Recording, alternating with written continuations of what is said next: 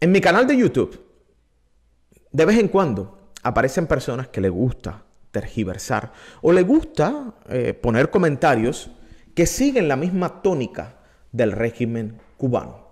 Y me refiero específicamente a cuando se habla de los migrantes y cuando se habla de los cubanos que siguen escapando en este éxodo que es producto a la crisis a la cual tiene sometida la dictadura a la isla. Quiero ponerles este comentario para que ustedes vean aquí lo que dice esta persona que se identifica como Edgar Herrera, porque además hay un símbolo común, hay algo común en todas estas personas. No ponen las fotos. Ahí está, este caballero, Edgar Herrera. Cuando no haya más ley de ajuste cubano, nadie sale ilegal de Cuba. Respuesta de este servidor. Los que llegan ilegal no tienen derecho al ajuste cubano. Respuesta de Edgar. Todos los cubanos que han entrado por bote y la frontera al año están en Cuba gracias a la ley de ajuste cubano. Respuesta de este servidor, totalmente falso. Hay miles de esos cubanos que tienen órdenes de deportación. Hay cientos detenidos. Hay miles luchando sus casos de asilo. Y ustedes saben lo que está haciendo Edgar. Montándose en el discurso que tiene el régimen cubano contra, siempre lo ha tenido, contra la ley de ajuste cubano. Pero me sirve excelentemente de, material de estudio para volverles a aclarar una y otra vez a todos esos. Usted se lo diga a su familiar en Cuba y usted se lo diga a la gente en Cuba. Si usted entra ilegal al territorio de los Estados Unidos, no tiene derecho al ajuste cubano, para empezar. Segundo, si usted está ilegal en los Estados Unidos, llegó en un bote, lo único que puede hacer es luchar su caso de asilo. El que está entrando por la frontera, la única manera en la cual puede aplicar la ley de ajuste cubano es si tiene el I-220A o recibe un parol o recibe el I-94, en el caso de los, del MPP. No hay otra manera.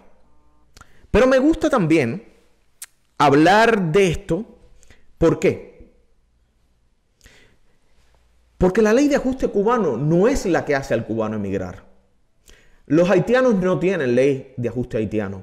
Los mexicanos, que son la inmensa mayoría de los migrantes que están en el territorio de los Estados Unidos, no tienen ley de ajuste para mexicanos. Los hondureños, los salvadoreños, los guatemaltecos, los venezolanos.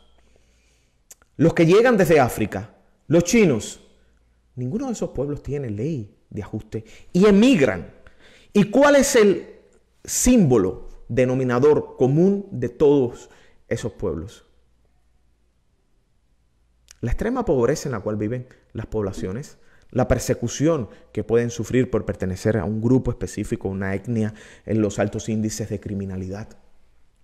Pensar, pensar que el cubano emigra por la ley de ajuste cubano es sencilla y llanamente quitarle la responsabilidad a la dictadura cubana de los millones de cubanos que han emigrado desde hace más de 60 años. Es culpar a los Estados Unidos de ser el receptor de los emigrantes cuando la verdadera razón de que las personas emigran están en los países de estas personas. No es porque existen leyes que benefician a quien arriesgó su vida, a quien pudo entrar a los Estados Unidos.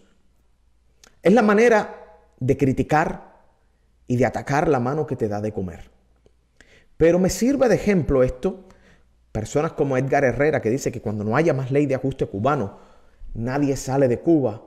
Yo le digo a Edgar Herrera que antes de 1959 Cuba era un país receptor de migrantes. A Cuba fueron los españoles, a Cuba una fuerte comunidad española en las primeras décadas del siglo XX. Fueron los chinos, fueron los judíos.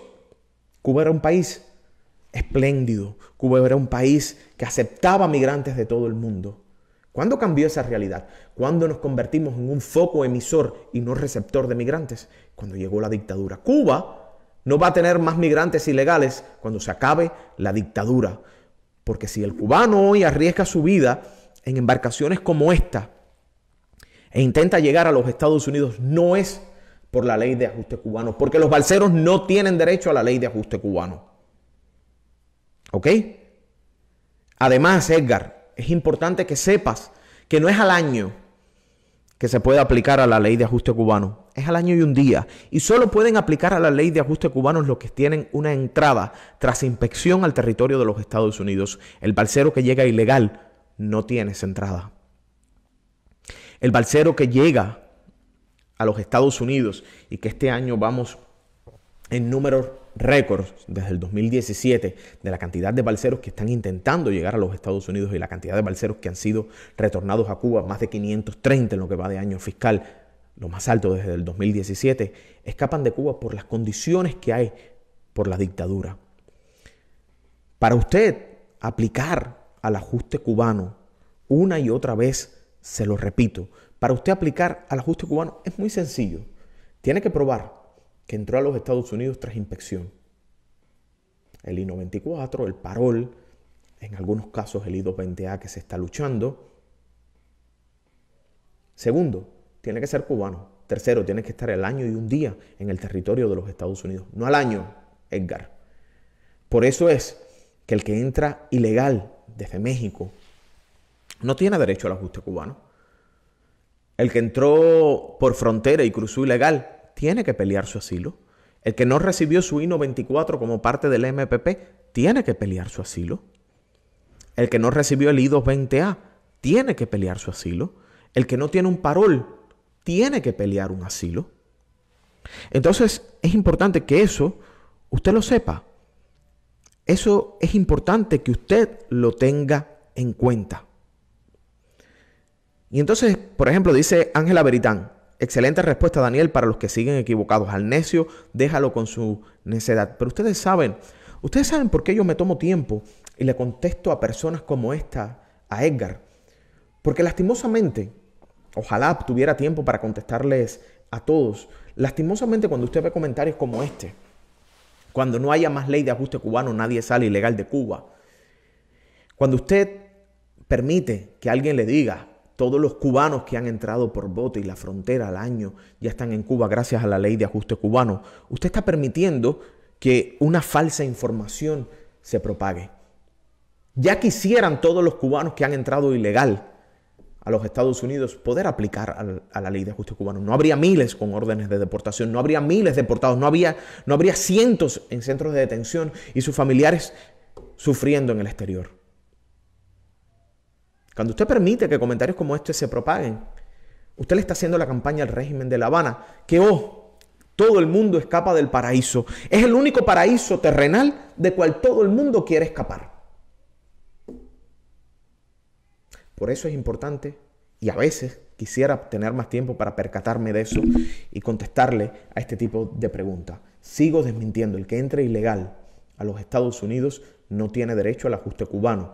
Tiene derecho al ajuste cubano el que entra tras inspección, el que es cubano, el que ha pasado un año y un día en territorio de los Estados Unidos. ¿Qué se entiende entrar tras inspección? Recibir alguno de los documentos, el I-94, eh, el parol, por supuesto, el tener una visa puesta en su pasaporte, con la entrada en su pasaporte, el tener en muchos casos, y es la pelea que se está llevando, del I-220A, eso se está considerando entrada bajo inspección. El balsero no tiene una entrada tras inspección. El balsero en la mayoría de los casos es devuelto a Cuba si es interceptado.